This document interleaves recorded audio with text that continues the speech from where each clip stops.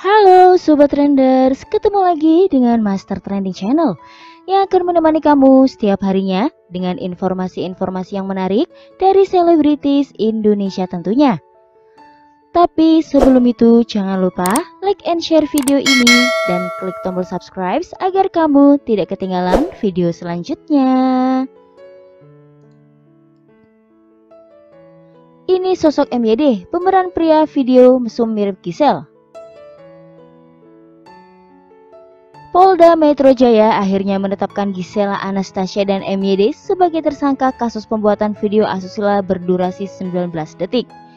Berkembang spekulasi MYD diduga adalah seorang atlet asal Medan, namun kabar itu belum bisa dipastikan. Kepala Bidang Humas Polda Metro Jaya Kombes Pol Yusri menyebutkan kasus ini bermula adanya laporan dari warga terkait beredarnya video mesum mirip Gisel bersama seorang pria berinisial MYD. Pada hari Sabtu tanggal 7 November 2020, pelapor telah melaporkan peredaran video asusila berhubungan badan melalui akun Twitter perempuan yang bernama GA dan laki-laki yang bernama MYD, ungkapnya. Kemudian, berdasarkan hasil pemeriksaan penyidik GA dan MYD telah mengakui pembuat video asusila tersebut pada tahun 2017 di hotel yang berada di kota Medan. GA diketahui warga Jakarta berusia 30 tahun dan MYD pemeran video asusila itu berusia 36 tahun warga Medan, katanya.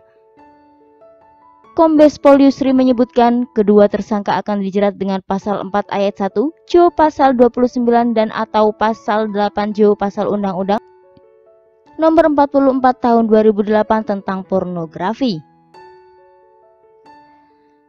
dengan ancaman hukuman pidana penjara paling singkat 6 bulan dan paling lama 12 tahun atau pidana denda paling sedikit 250 juta dan paling banyak 600 juta, ungkapnya. Pihaknya mengimbau agar masyarakat bijak dalam menggunakan media sosial. Himbauan edukasi kepada pengguna media sosial agar menggunakan media sosial lebih bijak dalam menggunakan media sosial tersebut untuk tidak memposting video atau gambar, ungkapnya.